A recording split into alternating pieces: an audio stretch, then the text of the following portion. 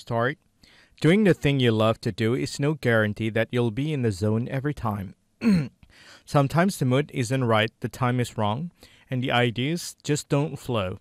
Some people develop their own personal ritual, rituals and for getting to the zone. They don't always work. I asked Aaron if he had techniques of his own. He said he doesn't, and he wished that he had, but he does know when to stop pushing. When it's not going well, I put it away and try again tomorrow or the next day. One thing I do is drive around in my car with music on. I try to find some place where I don't have to think about driving too much, like a freeway where you don't have to stop at red light or turn or anything. What I don't do is watch other people's movies or television shows or read their plays for fear that they're going to be very good and either make me feel worse or simply make me inclined to imitate what they're doing. At its best, the process of writing for Aaron is, is completely absorbing. Writing for me is a very physical activity. I'm playing all the parts, I'm getting up and down from my desk, I'm walking around when it's going well. In fact, I'll find that I've been doing laps around my house way out in front of where I type. In other words, I've been writing without writing. Then I have to go back to where I am on the page and make sure I actually type what I just did. In all likelihood, you've had instances in your life where you have become lost in an experience the way Aaron Sorkin did. When you finally connected with writing, you began to do something you love, and the rest of the world slips away. Hours pass and it feels like minutes. During this time, you have been in the zone. Those who have embraced the element find themselves in this place regularly. This is not to suggest that they find every experience of doing the thing they love blissful, but they regularly have optimal experiences while doing these thing, things, and they know they will again. Different people find the zone in different ways. For some, it comes through intense physical activity, through phys- physically demanding sports, through risk, competition, and maybe a sense of danger. For others, it may come physically demanding sports, through risk, competition, and maybe a sense of danger. For others, it may come through activities that seem physically passive, through writing, painting, math, meditation, and other modes of intense contemplation. As I said earlier, we don't only get one element apiece, nor is there only one road for each of us to the zone. We may have different experiences of it in our lives, However, there are some common features to being in that magical place. Are we there yet? One of the strongest signs of being in the zone is a sense of freedom and of authentic authenticity. When we are doing something that we love and are naturally good at, we are much likely to feel centered in our sense, in our true sense of self. To be who we feel we truly are. When we are in our element, we feel we are doing what we are meant to be doing and being who we who we are meant to be. Time also feels very different in the zone. When you're connecting this way with your deep interests and natural energy, time tends to move more quickly, more fluidly. For Ewa Laurance, 9 hours can feel like 20 minutes. We know the opposite is true when you have to think when when you have to do things to which you don't feel a strong connection. We all have experience where 20 minutes can feel like 9 hours. At those times, we're not in the zone. In fact, we're probably zoning out. For me, this time shift, the good one, not the bad one, happens most often when I'm working with people and especially when I'm giving presentation. When I'm deep in the throes of exploring and presenting ideas with groups, time tends to move more quickly, more fluidly. I can be in a room with 10 or 20 people or several thousand it's and it's always the same. For the 21st for the first 5 or 10 minutes I'm feeling for the energy of the room and trying things out to catch the right wavelength there. Those first minute can feel slow, but then when I do make the connection, I slip into a different gear. When I have the pulse of the room with me, I feel a different energy, and I think they do too, which carries us forward at a different pace and in a different space. When that happens, I can look the clock and see that an that almost an hour has gone by. The other feature common Among those familiar with this experience is the movement into a kind of me- meta state where ideas come more quickly as if you are tapping a source that makes it significantly easier to achieve your tasks. You develop a facility for the thing you are doing because you, you have uni- unified your energy with the process and the efforts you are making. So there's a real sense of ideas flowing through you and out of you, that you're in some way channeling these things. You're being an instrument of them rather than being obstructed to them or struggling to reach them. Rock and Roll Hall of Famer Eric Clapton describes it as being in harmony with time. It's a great feeling.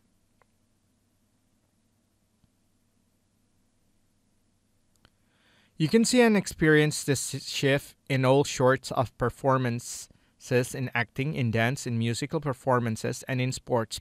You see that people have suddenly entered a different phase. You see them relax, you see them loosen up and become instruments of their own expressions. Expression. Grand Prix racer Jochen Rindt said simply that when he's racing, you ignore everything and just concentrate. You forget about the rest of the world and become part of the car and track. It's a very special feeling. You are completely out of this world and completely into it. There's nothing like it. Avi- aviator Wilbur Wright described it this way when you know after the first few minutes that the whole mechanism is working perfectly, the sensation is so keenly delightful as to be almost beyond description. More than any- anything else, the sensation is one of the perfect peace mingle with an excitement that strains every nerve to the utmost if you can conceive of such a combination. Superstar athlete Monica Seles says, "When I'm consi- when I'm consistently playing my best tennis, I'm also consistently in the zone." But notes, once you think about being in the zone, you are you are immediately out of it. Dr. Mihaly Csikszentmihalyi, it's pronounced Csikszentmihalyi. If you like to try it at home, performs decades of research on the positive aspects of human experience, joy creative, joy creativity, the process of total involvement with life I can I call flow. In his landmark flow, in his landmark workflow, the psychology of optimal experience, Dr. Csikszentmihalyi Csikszentmihalyi writes of a state of mind when consciousness is harmoniously ordered and people want to, to pursue whatever they are doing for its own sake. What Mr. Csikszentmihalyi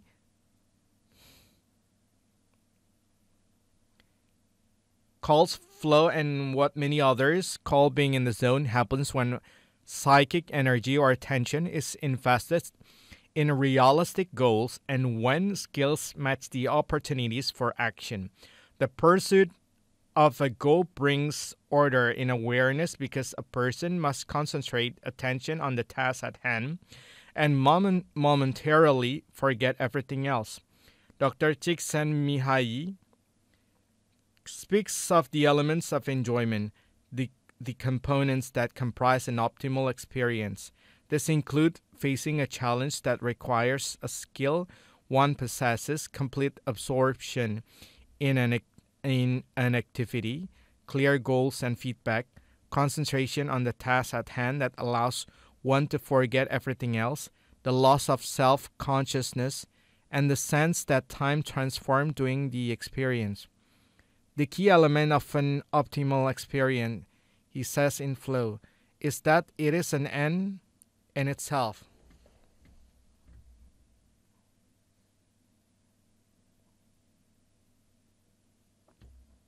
Even if initially undertaken for other reasons, the activity that consumes us becomes intrinsically rewarding. This is a crucial point to grasp. Being in the element and especially being in the zone doesn't take energy away from you. It gives it to you.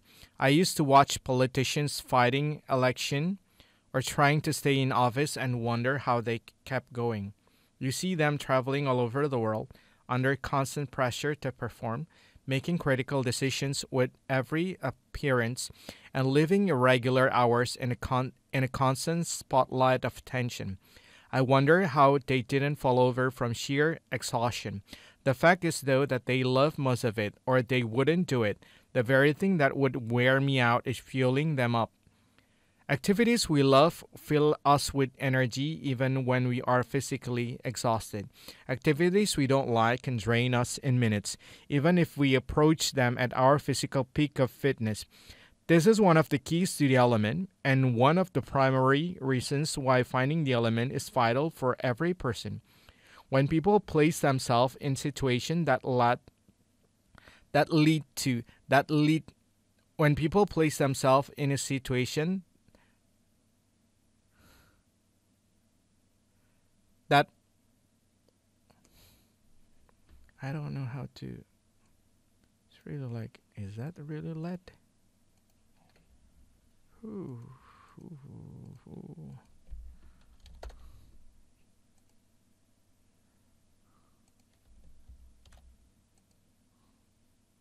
When people place themselves in situations that lead to their being in the zone, that lead when people place themselves in situations that lead to their being in the zone, they tap into a primal, primal source of energy. They are literally more alive because of it. It is as though being in the zone plugs you into a kind of power pack. For the time you are there, you receive more energy than you expend. Than you expend. Energy drives all of our lives. This isn't a simple matter our physical energy we think we have or don't have, but of our mental or psychic energy. Mental energy is not a fixed substance. It rises and falls with our passion and commitment to what we are doing at the time. The key difference is in our attitude and our sense of resonance with an activity. As the song says, I could have danced all night, being in your element, having that experience of flow, is empowering because it's a way of unifying our energies. It's a way of feeling deeply connected with our own sense of identity, and it curiously comes about through a sense of relaxing or feeling perfectly natu- natural to be to be doing what you're doing. It's a profound sense of being in your skin or connecting to your own internal pulse, or energy. These peak experiences are associated with psychological changes in the body. There may be a release of endorphins in the brain and of adrenaline through the body. There may be an increase in alpha wave activity and changes in our met- metabolic rates and in the patterns of our breathing and heartbeats. The specific nature of these psychological changes depends on the short of activities that have brought us to the zone and on what we're doing to keep ourselves there. However, we get there, being in the zone is a powerful and transform, transformative and transformative experience. So powerful that it can be addictive, but an addiction that is healthy for you in so many ways. Reaching out. When we connect with our own energy, we're more open to the energy of other people. The more alive we feel, the more we can contribute to the lives of others. Hip hop poet Black Ice learned at a very young age that his words could bring out emotions in himself and others. My mom used to make me write about everything, he told an interviewer. When I got in trouble, when I was happy, or even when I was scared, I was a giddy little kid. When I started liking little girls, I used to write letters for my friends. Mine were better than the circle yes, no, maybe so. I came upon spoken word as an adult. I went to a po- poetry spot looking to meet women. It was open mic night, and when this cat messed up, the audience gave him lots of love and support. I was blown away, being the aggressive person that I am.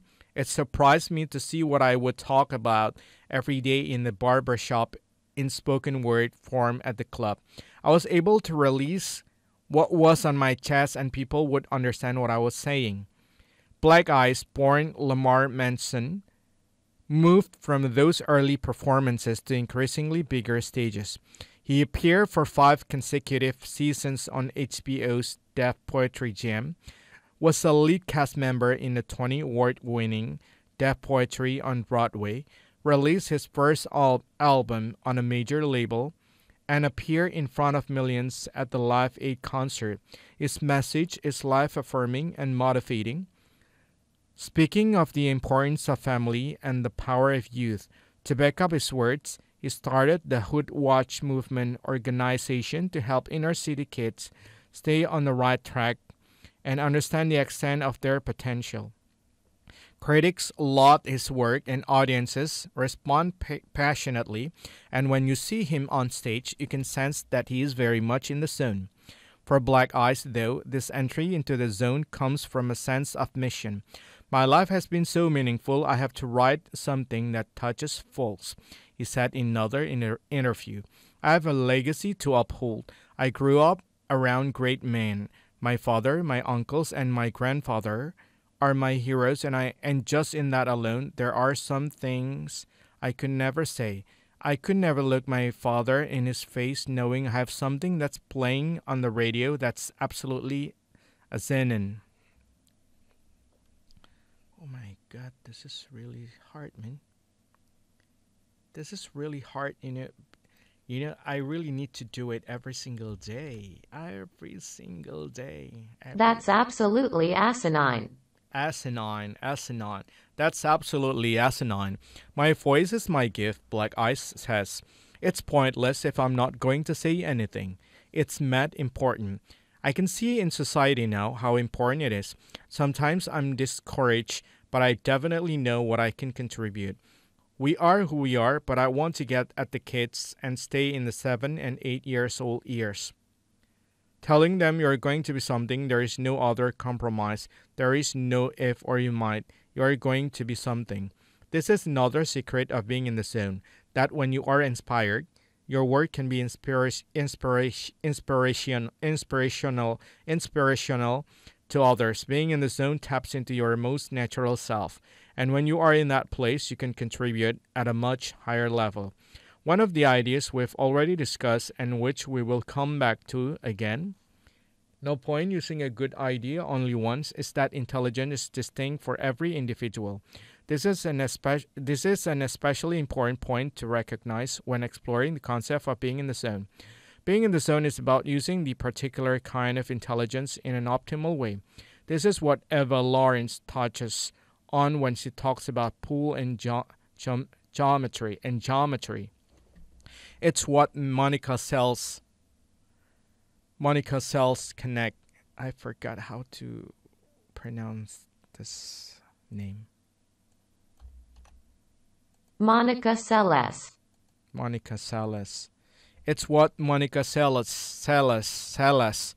It's what Monica Salas connects with when her physical is it really like that? How to really like I don't know.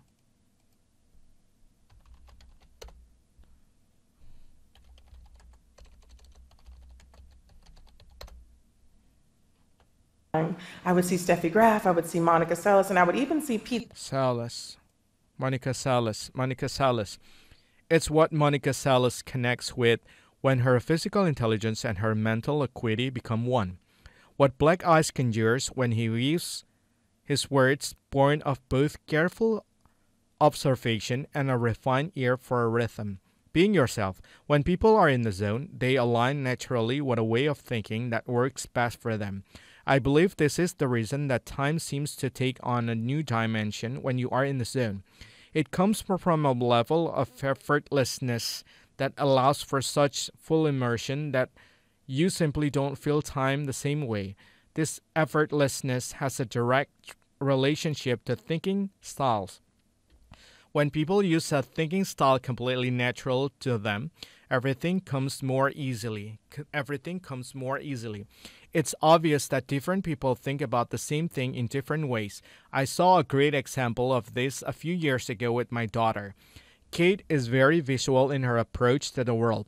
She's extremely bright, articulate, and well read, but she loses interpret, interpret, inter, interpret, inter, interpret. Oh my god.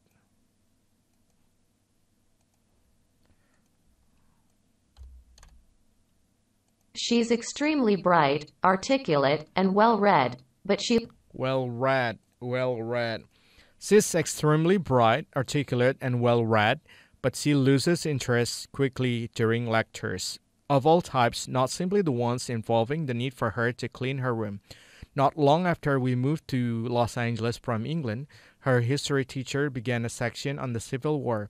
Not being American, Kate knew little about this period in American history, and she got little out of her teacher's recitation of dates and events. This approach, filling students' heads with bullet points, had little impact on her. With a test coming up on the subject, though she couldn't simply ignore the topic. Knowing that Kate had a very strong visual intelligence, I suggested that she consider creating a mind map. Mind mapping, a technique created by Tony Buzan, allows a person to create a visual repres- representation of a concept or piece of information. The primary concept sits at the center of the map, and lines, arrows, and colors connect other ideas to that concept. I had the feeling that, as someone who tends to think visually, Kate would benefit from looking at the Civil War from this perspective. A few days later, Kate and I went out to lunch, and I asked her if she had a chance to try out the mind map. As it turned out, she'd done much more than I than try it. Through this technique, she created such a strong visual representation of the Civil War in her mind that she spent the next 40 minutes telling me about the major events and the consequences of those events. By looking at it from this new perspective, one that made use of one of the primary ways in which she thinks, Kate was able to understand the way in a way the war in a way that bullet points never would have provided. Because she produced a mind map, she was seeing the images in her mind clearly, as if she had photo- them. Getting out of the box.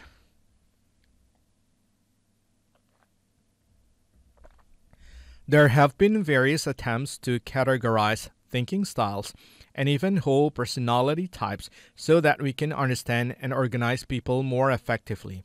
These categories can be more or less helpful as long as we remember that they are just a way of thinking about things and not the things themselves. These systems of personality types are often speculative and not very reliable because our personalities often refuse to sit still, and tend to flutter restlessly between whatever boxes the testers devise. Anyone who has ever taken a Meyer Briggs test knows about the various box placing tools out there. The Meyer Briggs Type Indicator, MBTI, is something that human resource departments seem to enjoy using the type people. Using to type people. More than two and a half million people take the MBTI annually, and many of, many of the companies in the Fortune 100 use it. It's essentially a personality quiz, though more sophisticated than what you might find in the pages of a pop magazine. People answer a series of questions in four basic categories energy, attitude, perception, judgment, and orientation to live events, and their answers indicate whether there are more one thing or another in each of these categories. For example, more extroverted or in- introverted. From the four categories and the two places in which people fall in these categories, the test identifies 16 personality types. The underlying message of the test is that you and each of the other 6 billion people on the planet fit into one of these 16 boxes. There are several problems with this. One is that neither Miss Briggs nor her daughter, Miss Myers, had any qualifications in the field of psychometric testing when they designed the test. Another is that test takers often don't settle neatly into any of the categories when they take the MBTI. They tend to be just a little more to one side of the line or the other, a little more extroverted than in, in, introverted, for example, rather than being clearly one thing or the other. Most telling, though, is that many people who repeat the task end up in a different box when they do so. It's true in at least half of the cases, according to some studies. This suggests either that a huge percentage of the population has serious personality disorder problems, or that the test might not be such a reliable indicator of type after all. My guess is that 16 personality types might be a bit of an underestimate. My personal estimate would be closer to 6 billion, though I'll need to revise that ex- estimate in future edition of this book. Because the population keeps growing, another test is the Herrmann, Herrmann Brain Dominance Instrument. I feel a bit more relaxed about this one because it talks about cognitive preferences in terms that I believe most people would find acceptable. Like the MBTI, the Herrmann Brain Dominance Instrument is an assessment tool that we that uses participants' answers to a series of questions. It doesn't seek to put people in a box. Instead, it tries to show people which of four brain quadrants they tend to use more often. The A quadrant, cerebral left hemisphere, relates to analytic thinking, collecting data, understanding how things works, how things work, and so on. The B quadrant, limbic left hemisphere, relates to implementation thinking, organizing and following directions, for example.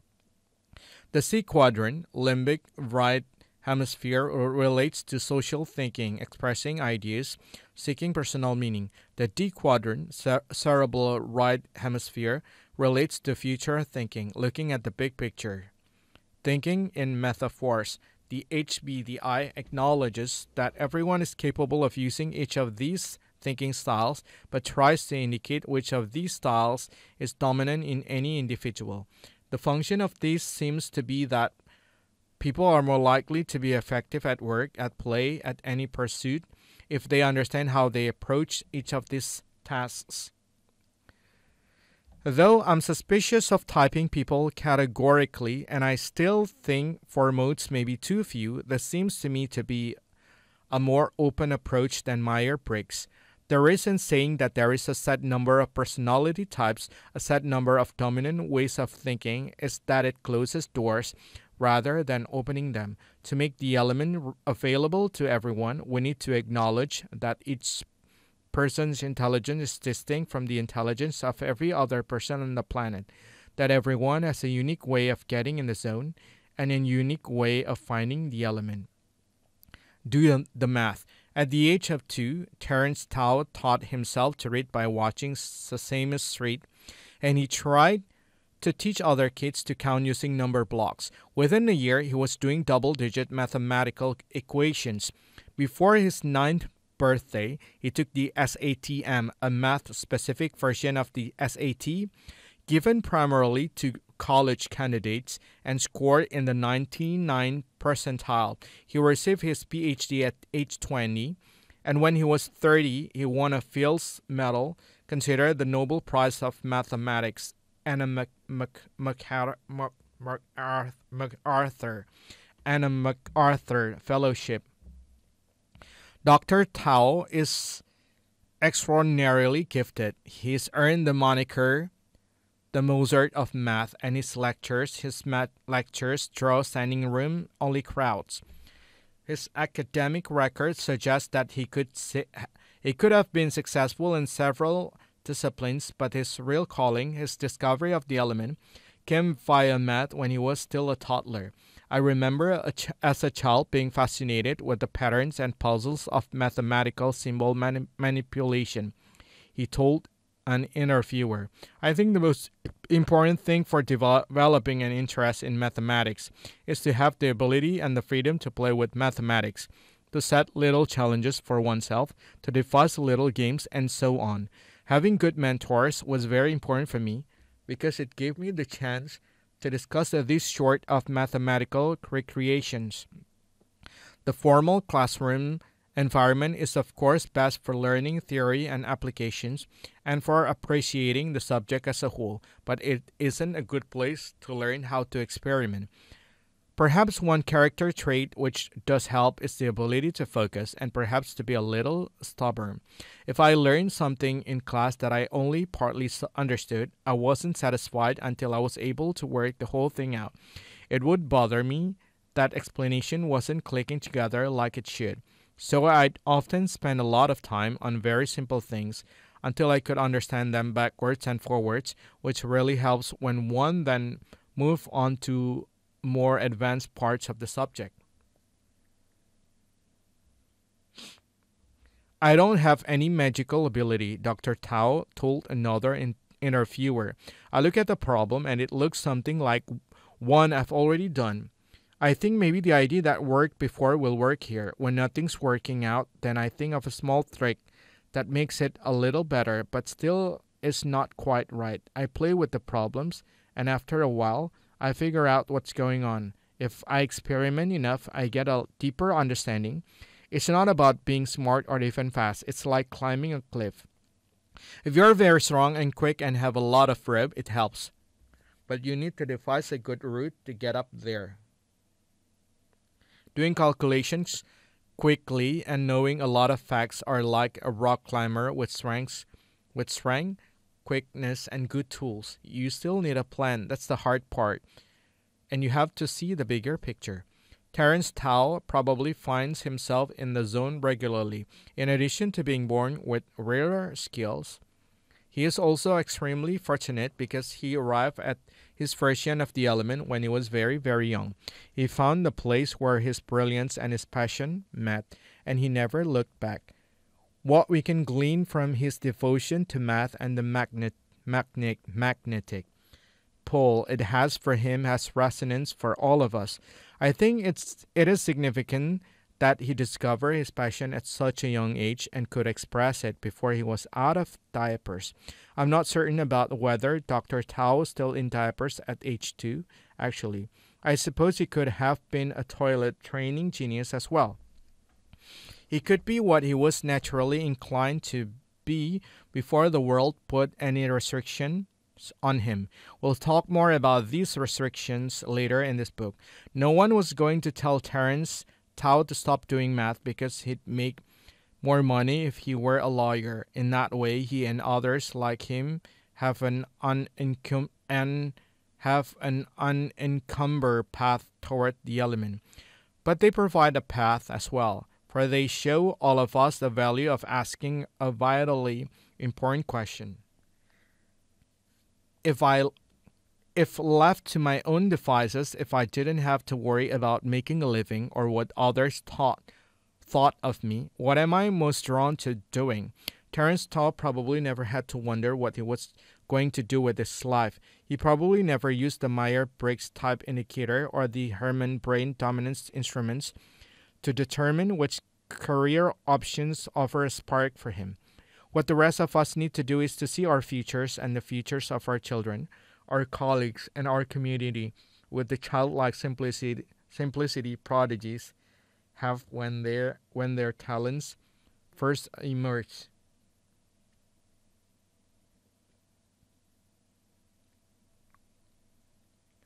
This is about looking into the eyes of your children, of those or those you care for, and rather than approaching them with a template about who they might be, trying to understand who they really are this is what the psychologist did with Gillian Lynne and what Mick Fleet, Fleetwood's parents and Ewa Laurance's parents did with them.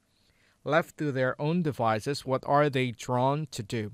What kinds of activities do they tend to engage and do they tend to engage in voluntarily?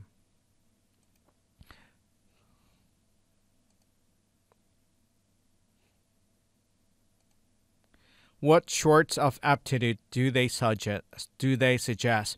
What absorbs them most? What sort of questions do they ask, and what type of points do they make? We need to understand what puts them and us in the zone, and we need to determine what implications that has for the rest of our lives. Chapter 5 Finding Your Tribe. For most people, a primary component of being in their element is connecting with other people who share their passion and is and a desire to make the most of themselves through it. Meg Ryan is the popular actor best known for her work in such movies as When Harry Met Sally and Sleepless in Seattle. Her acting career has been buoyant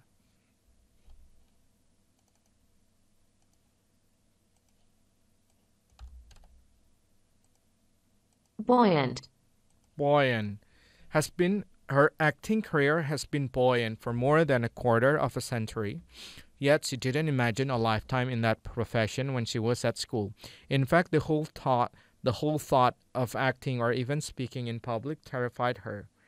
She told me that at school performances, she had always preferred to be on the bleachers than on the stage. She was a good student though, and in the eighth grade she was valedictorian. She was thrilled at her achievement until she realized that she had to give a speech in front of the whole school. Although she practiced for weeks, when she found herself at the podium, she simply froze in terror. She said that her mother had to go up onto the platform and bring her back down to her seat, and yet she went on to become one of the most accomplished comedy actresses on her generation. This was in part because she found her tribe. Following a successful career at school, Meg won a scholarship to New York University to study journalism. She had always loved to write, and her intention was to focus on becoming a writer, something she considered at the time to be her true passion. To help pay for tuition, though she found work in the occasional, occasional, in the occasional commercial.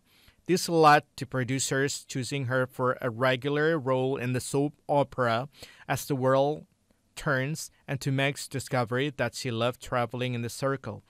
I found the world of actors fascinating, she told me. I was around hilarious people. The job was like being in this naughty extended family. It was a kick. I was doing 16 hour days and I became more and more comfortable with the everyday of it. I love the fact that we are we were always talking about why someone would do something and examining human behavior.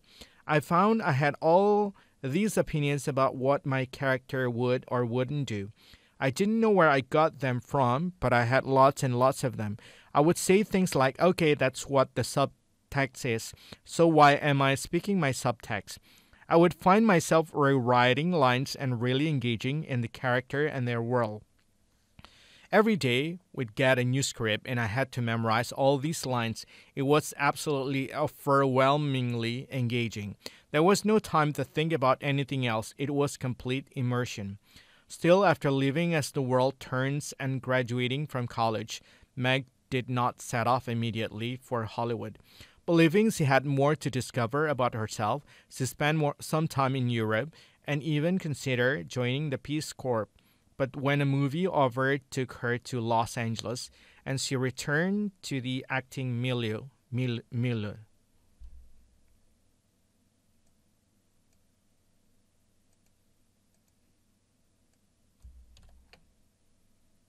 She returned to the acting milieu. She found once Milieu, again that she was in a rare milieu. place when doing this work. And she returned to the acting milieu. She found once again that she was in a rare place when doing this work. I met up with this really great acting teacher. Her name was Peggy Feury. Peggy started talking to me about the art and craft of acting and what being an artist meant to her. Sean Penn was in the class above me, and Anjelica Huston, Michelle Pfeiffer, and Nicolas Cage were there too. I was surrounded by people who work from really deep deep down in themselves and were interested in the human condition and the idea of bringing writing to life. All these things just started to bloom in my mind and in my heart and in my soul. So I stayed in Los Angeles and got an apartment. My agent in New York hooked me up with an LA agent, and that's when it all came together for me. Various movies have come along and taught me so many things and helped me grow as a human being. When I decided to do a movie, it may be because I think it's funny or I want to work with a particular actor, but in the end, it always has a profound effect on my life. It's not the subject matter, it may be a particular group of people. My evolution is served by the different incarnations that are part of single every single movie. Meg Ryan could have been many things. She has genuine skill as a writer. She has considerable academic talents. She has a wide variety of interests and fascinations. However, when she's acting, she finds herself with a group of people who see the world the way she does. who allow her to feel her most natural, who affirm her talents, who inspire her, influence her, and drive her to be her best. She is close to her true self when she's among actors, directors, camera and lighting people, and all and all of the others who populate the film world. Being a part of this tribe brings her to the element, a place to discover yourself. Tribe members can be col- colla- collaborators, collaborators. Tribe members can be collaborators or com- competitors, collaborators or competitors. They can share the same vision or have utterly different ones. They can be of a similar age or from different generations. What connects a, a tribe is the common commitment to the thing they feel born to do. This can be extraordinarily liberating, especially if you've been pursuing your passion alone. Don Lipski, one of the one of America's most acclaimed sculptors and public artists, and public artists, always knew that he had an artistic bent. There were some early signs that he had unusual creative energy. When I was a child, he told me I was always making things. I didn't think of myself as a creative person, but as someone with nervous energy. I had to be doodling and putting things together. I didn't think of it as an asset, as an asset. If anything, it was a pecul, pec, pecul, pec, peculiarity. It was a peculiarity. It was a peculiarity. This nervous energy made him feel different from other kids and sometimes uncomfortable. As a child, he said, more than anything else, you just want to be like all the other kids. So rather than me seeing my creativity as something special, it seemed to set me apart. Through elementary school and into junior high, Lipski was pulled in different directions. He was academically acad- academically bright, but bored by academic work. Academic work came very easily to me. I would finish assignments very quickly and with the least effort rather than, than the most depth. He was gifted in math and his school moved him into an accelerated math group, but in other respects, teachers thought of him as an underachiever because he did just enough to get by. He spent more time drawing on his books than thinking about what to write in them. When I should have been doing academic work, I was drawing or folding paper. Rather than being encouraged, I was cheated. I was cheated for it.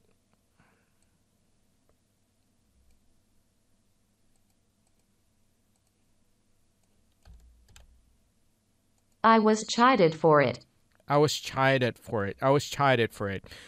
One teacher strongly encouraged his artistic talents, but Don didn't take art that seriously.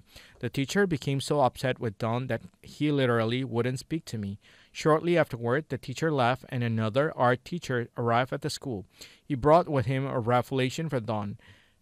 They had a very rudimentary welding set up in the sculpture department, and he taught me how to weld.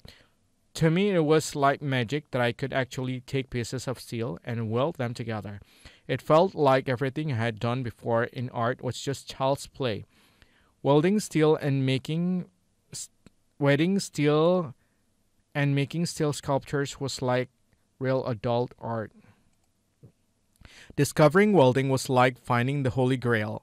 Still, he wasn't sure what to make of this fascination. He didn't think of himself as an artist because he wasn't good at drawing. He had friends who drew well. While they were drawing, I was playing with blocks or building things out of my Erector set. None of that felt like real art. It was it was the kids who could draw a horse that looked like a horse that felt like the real artist. Even when he began winning school art shows for his sculptures, he never thought about going to an art school. When he graduated from high school, he enrolled at the university at the University of Wisconsin as a business major. He subsequently switched his major to economics and then history, but he stayed away from the art department, even though he found little inspiration in any other classes. In his final year, he bluffed his way into taking two elect- electives, woodworking and ceramics, for which he wasn't actually qualified. He loved and excelled in both. Most important, most importantly, He felt almost for the first time the true ex- exhilaration of working as an artist on his own terms. In the ceramics class, he also found something he had been missing throughout his college experience an inspira- in, uninspirational uninspirational teacher. He was a very romantic and enthusiastic guy. Everything he did was like an artwork. If he was buttering his bread, he was totally into it. He served as a model for me and made me think that I could really make my life by making things. For the first time, a career as an artist seemed possible and worthwhile to Lipski. He decided to go to graduate school at the Cranbrook Art Institute in Michigan to study ceramics. Then he hit an obstacle. His parents had encouraged his creative work as long as it was a hobby. When he applied to Cranbrook, his father, a businessman, called him in and tried to drum some economic sense into him. Don agreed studying ceramics made no practical sense, but it was all he wanted to do. His father looked at Don long and hard, saw that his mind was set, and stood aside. And when Don went to Cranbrook, he discovered a new world of people and possibilities. I'd had very little exposure to art student other than in the few courses I had taken, he said. Cranbrook is almost completely a graduate school. There were maybe 200 art students there, and about 180 of them were graduate students.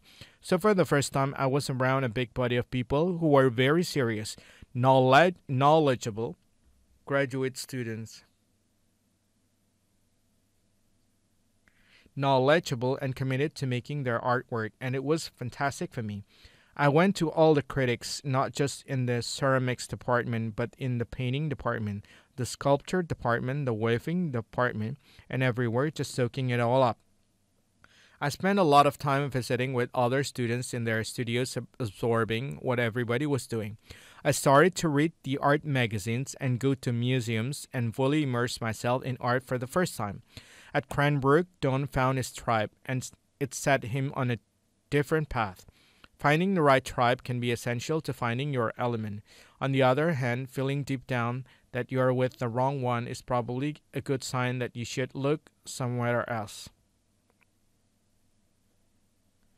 Helen Pilcher did just that. She stopped being a scientist and became one of the world's few science comedians.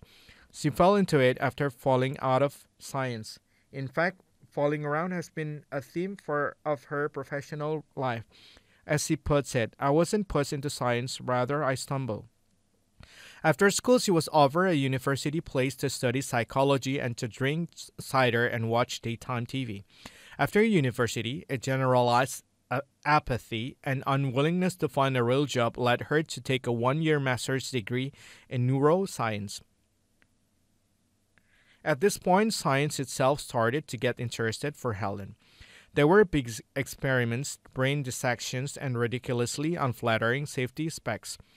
Bitten by the science bug and little else, he stayed on to complete her PhD. She learned some useful science as well as how to play pool like a diva. She also learned something else. She enjoyed science, but scientists were not her tribe.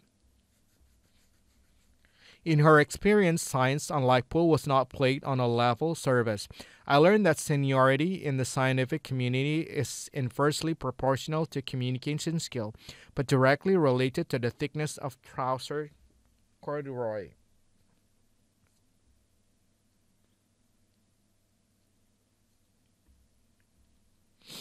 She did learn something of her craft too. I learned how to make forgetful rats remember. I made and grafted gen- Janet, Janet, Janet, Jean, Jean, ah. Janet,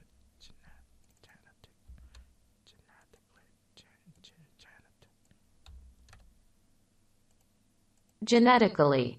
Gen- genetically, genetically. I made and grafted genetically modified stem cells into the brains of absent minded rodents, which, shortly after my meldings, went on to develop the cognitive capacity of a London cabbie. But at the same time, my own attention began to wander. Most of all, she found that the world of science, as she experienced it, was not the utopia of free inquiry that she hoped for. It was a business. Wells, Wells, corporate science, pours cash and man hours into medical research, its downfall is that it's driven by business plans.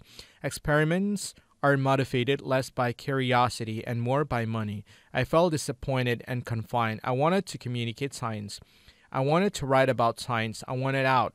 So she formed a one woman escape com- com- committee. A one woman escape committee. Committee. Committee. Ah. Whew. Gen- genetically, genetically, genetically, genetically, genetic, genetically, genetically, genetically, genetically, gene- genetically, committee, committee, genetically. So she formed a one-woman escape committee and started digging a tunnel. She enrolled for a diploma in science communication at Birkbeck College in London, and there found like-minded friends. She was offered a degree in media fellowship and spent two wonderful months writing and producing funny science films for Einstein TV. She plucked up the courage to sell her freelance science writing to anyone who would have it. I whore, I whore, I whore my wares to radio.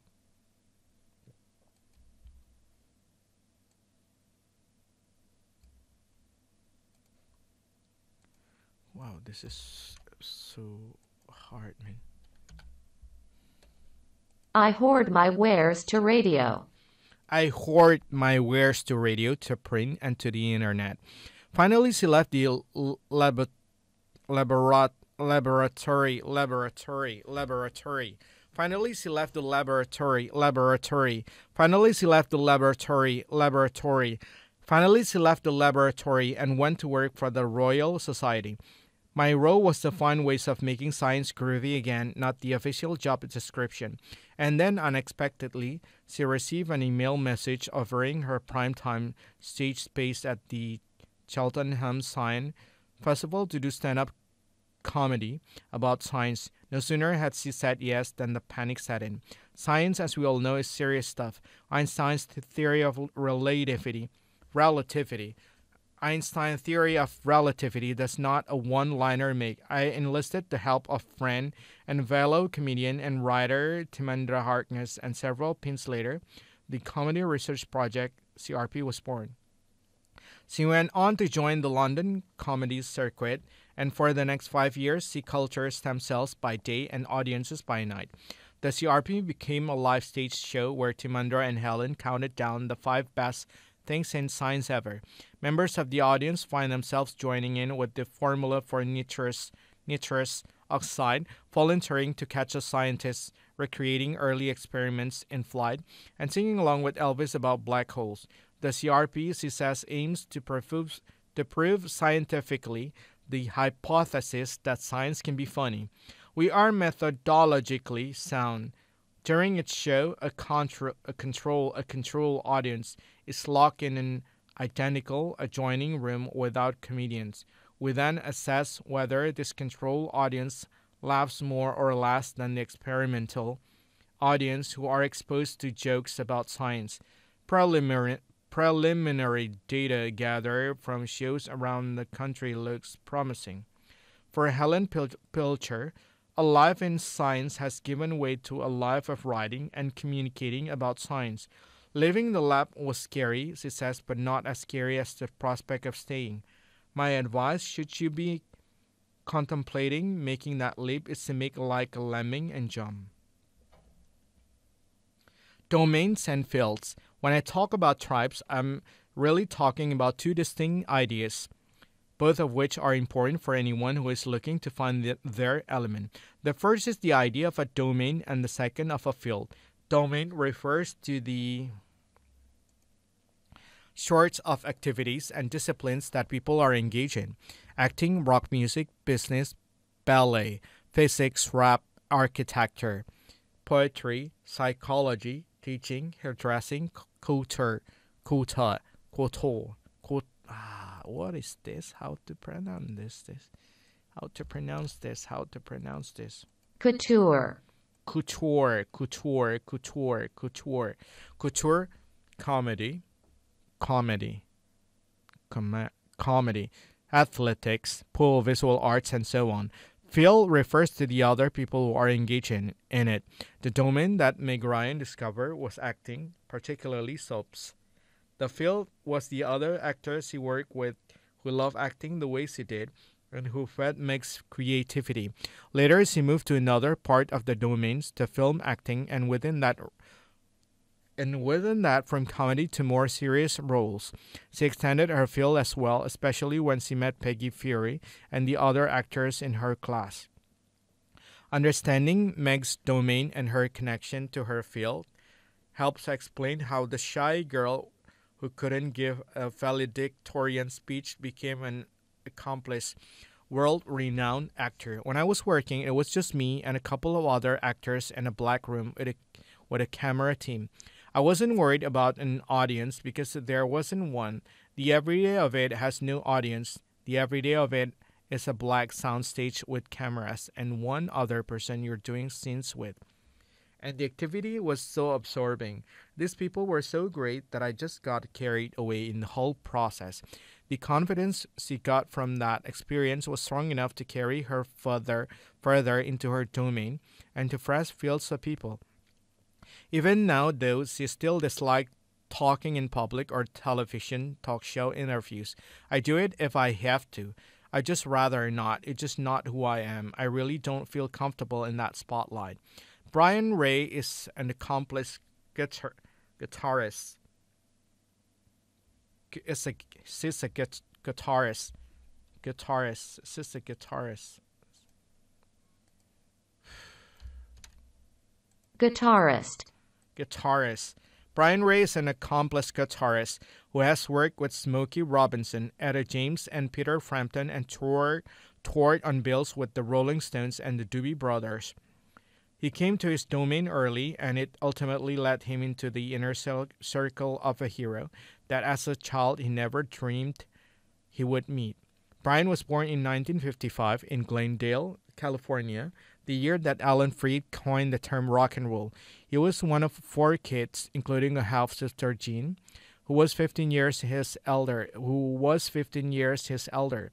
Jean would take me over to her girlfriend's house, and they would be playing Rick Nelson, Elvis Presley, and Jerry Lee Lewis, while poring over photos of these guys. It had such a visceral impact on me. The reactions of these girls to this music that was pouring out of the radio and their response to these photos. There was a part of me that just got the whole thing right then and there at age three. My dad played piano and we had a little phonograph making kit. It had a microphone and you could cut a record and put this other needle on it to play the record. I remember sitting at two or three with my dad at the piano and cutting records. Right out of high school, Jen started getting into music and she joined a folk band called the New Christy Minstrels. They did a tour throughout the country to tell us stories and would be glowing from this life she had grown into. Jen imparted to me her love and joy of music and shielded that by bringing me to clubs and concerts when I was 9 and 10 years old. I would see and meet people that I worship. My brother was given a really nice Gibson guitar plus lessons. He didn't have a big desire to play music, and while he was busy not caring about the lessons, I was busy practicing on his guitar. Then I was given a $5 nylon guitar, nylon string guitar by my sister Jean that she bought in Tijuana, Tijuana, in Tijuana. I, I just started crying. My passion for mu- music was so big that it was not almost a crusade, but without my meaning to or knowing that I wanted to share it and spread it around a little. I started a band with guys before I even knew how to tune a guitar. One Sunday night when I was 10 or 11, we heard this new band on the Ed Sullivan show, The Beatles. It was such a different kind of music. It was a mixture of that black R&B that I love so much, but it was mixed with some other X factor or element that I didn't know. It was from Mars. It changed everything. I knew I wanted to play music, but now they closed the deal for me. It was just the most exciting thing I had ever seen. It made being it made being in a band seem like something that was do- doable and attractive and something I could do for a living. They took away all the maybe I'll be a fireman. I was driven now to what ended up being my life. In the next 20 years, Brian played with some of the most outstanding musicians of his generation. Then came the call he never expected and an invitation to audition for Paul McCartney's new band. He has been touring and playing with McCartney ever since. Never in my wildest dream would I have thought that, you know. This little blonde kid sitting Indian style in front of the TV in 1964 would end up playing with that guy singing All My Loving, and I saw her standing there on the Ed Sullivan show. There is something really gratifying about this story. This I this you know just being a part of the scene. The people in this book have found their element in different domains and with different fields of people. No one is limited to one domains and many people move in several. Often breakthrough ideas come about when someone makes a connection between different ways of thinking. Sometimes across different domains, as Pablo Picasso explored the limits of his blue and rose periods, he became fascinated with the collections of African art at the Musée d'Ethnographie du Trocadero in Paris. This work was vastly different from his, but it sparked a new level of creativity in him. He incorporated influences from the ceremonial masks of the Dogon tribe into his into his landmark painting, that led Demoiselles d'Avignon and thus launched himself into the Cubist work for which he is most celebrated. As cultures and technologies evolve, new domains emerge, new fields of practitioners populate them, and an, and old domains fade away. The techniques of computer animation have generated an entire new domain of creative work in cinema, television, and advertising. These days, though, People aren't spending quite as much time as they used to eliminating manuscripts. Finding your tribe can have transformative effects on your sense of identity and purpose. This is because of three powerful tribal dynamics validation, inspiration, and what we'll call here the alchemy of synergy.